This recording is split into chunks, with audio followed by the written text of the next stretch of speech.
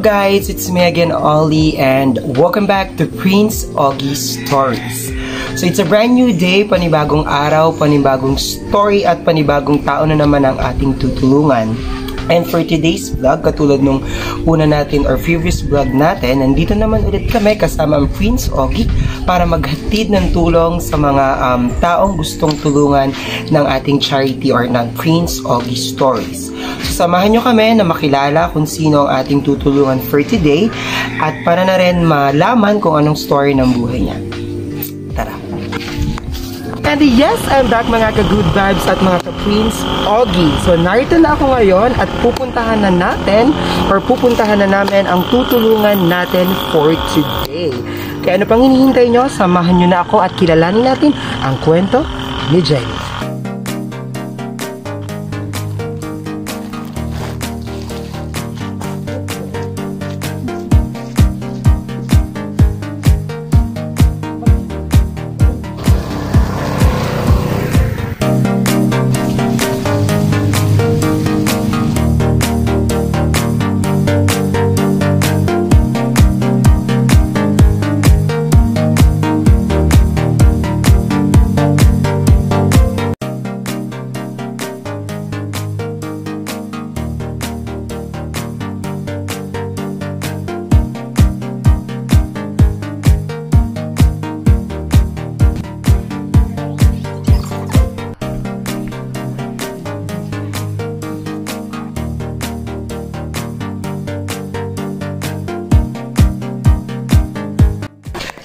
Yes, we are back mga ka-good vibes at mga ka-Prince Oggy Stories.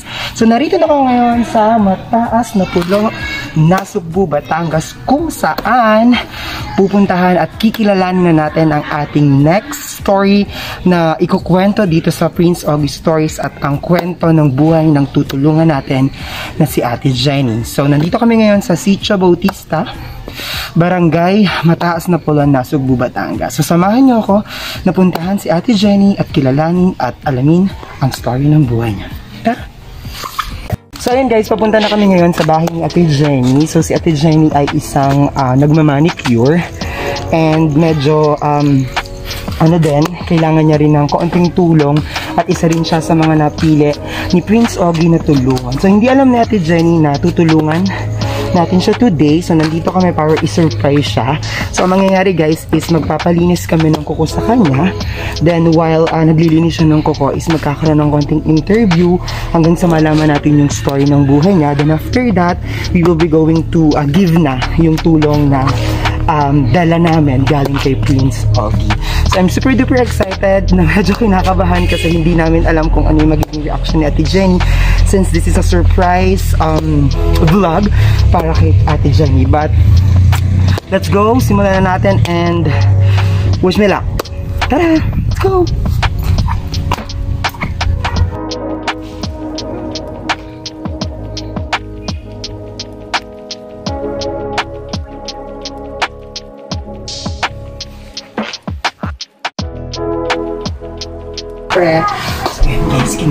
na yung mga pamilinis niya ng kuko. Actually, nandito na pala. And wala pa siyang kaalam-alam na isi-surprise namin siya at meron kaming blessing. Tara, let's go.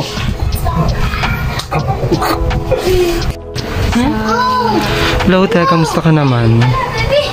Ito. Ayan. Matagal ka nang nag-aalam? Tagal mo. Like- na po. 8 years? Yes. No, Kaya marami na akong kilala. Pero ano ka, single ka? As in, single na magmamanicure or nagpa-final ka? Hindi, simple lang. Single lang. Tapos ayun. Ano ba work ng asawa mo? Sa absolute. Sa may liyan. Yeah. Dun sa may... Ano bang tawag dun? Basta somewhere there. Sa mga Ano doon? Contractor lang kasi sila. 5 months, 5 months lang. Tapos, pag after 5 months, pag may vakante sa ibang department, uh, dagdag yun, panibagong ano yun. Panibagong apply. Tapos, Pero dun din, sa absolute. absolute din. Pero Di kasi kita kilala talaga at all. Go, sabi, sabi, tinutulungan ni Ken, sabi ni Ken, sa may school yung mataas doon, sabi ko, pero kilala, iba naman yung kilala kong nakatira doon. Pala dito ka pala nakatira. So ever since, dito talaga kayo nakatira. Hindi. Ano, doon kami, doon. Kasi wala nang bahay namin. So lumipat lang kayo dito nung Lang kami nag-start dito. ng ano, Four, ano oo, na. four years na kami dito. So nung mayroon ditong na ano, yung nawala, nandito na kayo? Yung, naman, nung nawala yung dati nag-aalaga Oo. sa Yun ba yung nag-aalaga, yung Yung nawala? Vietnam. Ah, so yung biyanan mo, yung nanay mo, tatay, tapos pamangkin to. So parang anong nangyari? Kayo na, kayo na yung pumalag? Nawala. Bali kasi yan, nung nagkasakit yan, ako na ang pinag-alaga kasi hindi kaya ng ganun alaga. Sila. Pero may bayad kayo dyan. Kasi Pero ano, 3,000. like mga pang-budget, yan mga Tapos, pagkain. kasama na lahat doon. Oo. Pero yung asawa mo, dito din nauwi pag Oo, naglalabas dito ng rin. trabaho. Dito rin. Okay naman yung trabaho niyo po dito. Ay, ayos. Eh, kaysa naman walang trabaho dito. Ayun. Tsaka, So, bali sino nagbibigay sa inyo kung matanda? Sino pamangkin. Ah, doon nagagaling yung mga pang, ano mo, pang budget, budget, something, something. Si pamangkin na may ano, sa Cavite naman.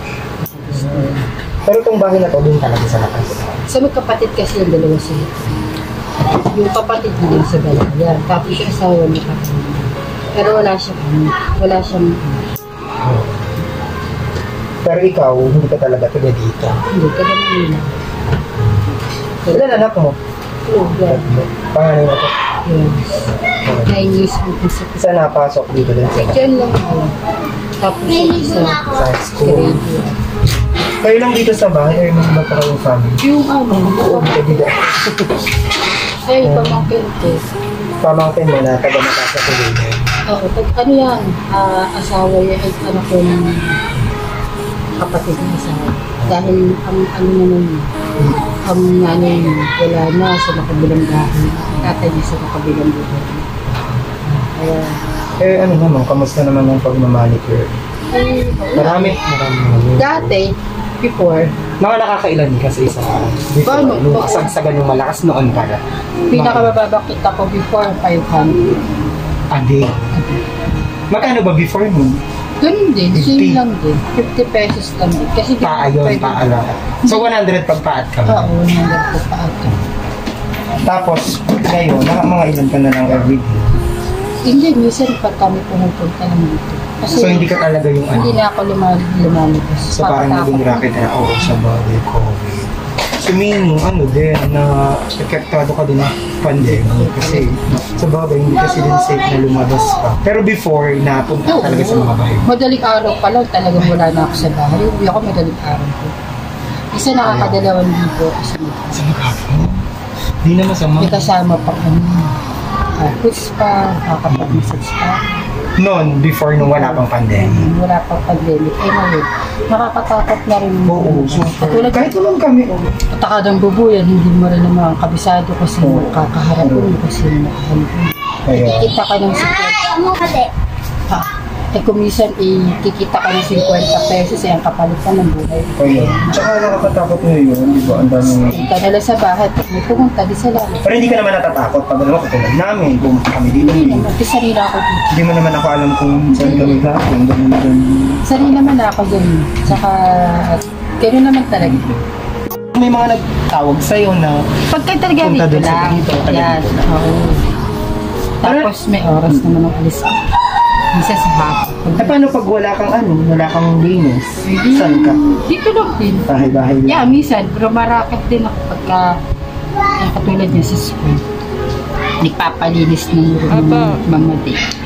Sayang din yun. Instead Oo. nga naman na ano, ako na maglilinis. Magkano ba ngayon ang ano? Ang Hindi depende, sila na yung bahala ng dito. Ah, yun naman pagka magpapa-affect mo ka sa pandemic, nakakawa. parang tuloy naman din. Lahat naman tayo na-apektuhan. Pero tuloy lang, di ba? Tsaka, kung ba wala kang makain, magtanim ka dyan. True. Sus, diba? Ang dami-dami naman pwede pagtanim. Yeah. Tanim ka lang gulay. Kesa iiyak kasi sa mga Parang Didibdibin fighting mo naman kasi lang, ano. eh. True. So, di ba? Didibdibin mo pa ba yun? May mangyayari ba kung iisipin mo na iisipin na wala kang ganito? Isipin mo paano ka magkakaroon? Tsaka kung halimbawa wala ka ng makain, edi gagawin mo ng Oo, paraan. gagawa mo ng paraan. Katulad niya, no, meron akong baby, one year old. Imagine mo, nag-pandemic. Bagong panganak ako, pandemic. Ay, talaga. Talagang imagine. Na-lockdown siya, March na, di ba? Pero mo eh, paano yun, nawala ng trabaho asawa ko sa liyan dahil lockdown. So ngayon, ngayon lang din siya nakaka Oo, nakakabalik. ngayon ngayon lang din nakakaano, Kaya, nakaka, nakakabawi. Tapos kasabay pa nun, nagkasakit pa yung binang ko. yung ba ano mo na, Oo, yung binang ko lalaki, babae. ito yun. Hindi isa.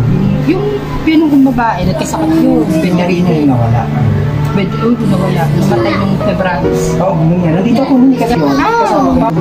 Yun, di ba? Imagine mo, may alaga akong maliit, may alaga akong dalawang matanda. O, tapos nawalan pa kami, nawalan ako ng trabaho, nawalan ng trabaho asawa. Talagang That is all for free. Ano. Pero so far naman, okay, okay. Eh, okay naman. Imagine mo paano ka nakapag, naka, ano, naka-survive ng situation. Ayun. Iisipin mo, naka, mabibinat ka, baka pat lang patay mo. True. So, ilan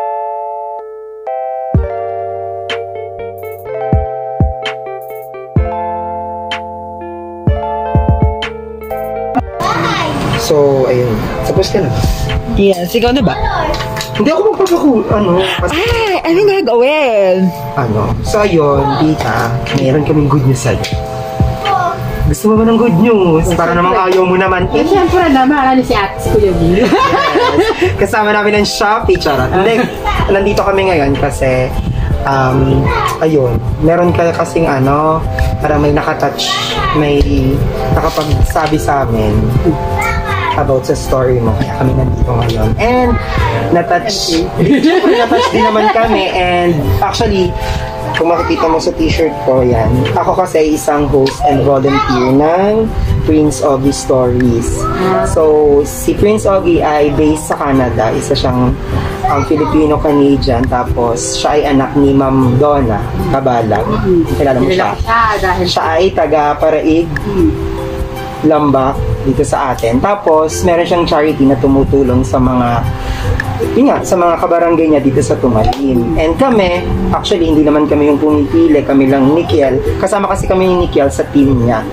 So, parang kami ay natulong, pero galing sa kanila yung tulong. So kami lang yung nagiging naghahanap. Oo. Hindi kami yung naghanap, kami yung naghahatid ng tulong. At the same time, naghahanap na din. Tapos yun, parang may nakapagsabi sa kanila at sa amin na yun nga, na-touch sa story mo kasi yun nga, sa mga kinuwento mo. So ikaw yung napili today ng Prince Oggy para tulungan. Are you happy? Hindi ka naman happy. Ayan, so meron, actually meron kaming ano, konting tulong na dala for you.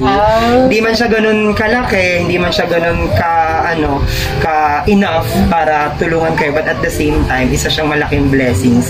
And again, hindi siya galing sa amin ha. Kami ay tagahatid lang ng tulong. Galing siya kay Prince Oggy at kay Ma'am Doc. Salamat. Thank you. Ready ka na bang makita? Ako, syempre. Dala namin ang house and lot sa baba. Isang ano ba? Isa, isa, isang Ayun. truck? Tara, let's go. Dali, dali natin ha. Kaya.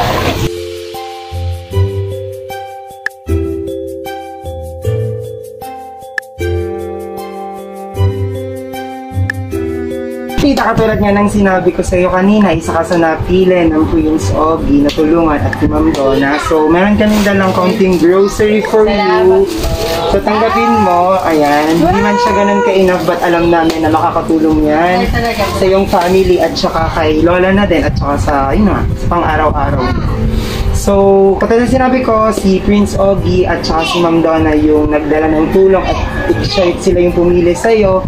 So, ayun, any message or baka gusto mong pasalamatan or magbigay ng konting mensahe para sa para kay Ma'am Donna or para sa Prince Oggy. Maraming maraming salamat sa tulong na ibinigay ni Prince Ogie at ni Ma'am Donna na dinala niyo sa amin. Ah, napakalaking tulong para sa amin po nito mga binigay ninyo. Sana mas marami pa kayo matulungan na katulong sa amin. God bless. Ayan, so uh, in behalf of ni Tita in behalf of Prince Ogie Story. So maraming maraming salamat. Unang-una sa pag-share ng story mo sa amin at talagang marami kang ah, na-touch at marami ka pang ah, may inspired sa, you know, yung sa fighting spirit mo na talagang patuloy lang tayong lumalaban despite na meron tayong kinakaharap na pandemya. So, alam ko na hindi pa ito ang ating huling pagkikita, magkikita pa tayo dyan at Yaan mo kapag meron kaming mga racket, bibigyan ka namin. At saka pag may mga gustong magpalinis ng koko, yan, sasabihin namin pumunta dito yan. Sasabihin namin take it. Dodoblehin ba daw? So, dodoble... so, dito magkano pagpapalinis ako ko sa inyo? Sa paa? Ayo, 100 na mare. Oo, go, tayo, boss tayo. Yes. Go. Laban. Laban. So yun guys, dahil um, inano ni tita, nilinisan ni tita si Kiel at sabi nga ni tita is 50 pesos ah, per, per ano ba yun tita? Per, Per paa sa kamay. Paa, kasi paat kamay. So pag paat kamay, 200 siya. 100 na lahat yon kasi 25, 25, 25, 25. So dahil paa lang naman, ang nilinis ni Kiel, sobrang dumi na ng paa niya. So dodoblehin namin ang bayad. Ayan. Yes. So 100 pesos instead of 50 pesos lang. So ito tita, ayan. Additional blessing yan. Yes. Salamat. Kahit maliit lang, nakakatulong pa din. Na din yan. So muli guys, uh, or muli tita, maraming maraming salamat sa pag-inspire sa amin at sa pag-share ng story nyo. Nawa ay makatulong itong mga blessings na bigay namin or bigay ni Prince Ogie para sa amin. Thank you. Thank you. Salamat. God bless. And yes, I'm back mga ka-good vibes at mga ka-Queens Ogie. So ngayon, kakatapos lang naming ihatid ang tulong at kakatapos lang naming i- iabot ang tulong na ibinahagi namin kay Ate Jenny galing kay Prince Ogie. At na yun nga, nalaman din natin kung ano ba ang story ng buhay ni Ate Jenny at kung paano siya nakikipagsapalaran sa pagsubok na kinakaharap niya ngayong pandemya.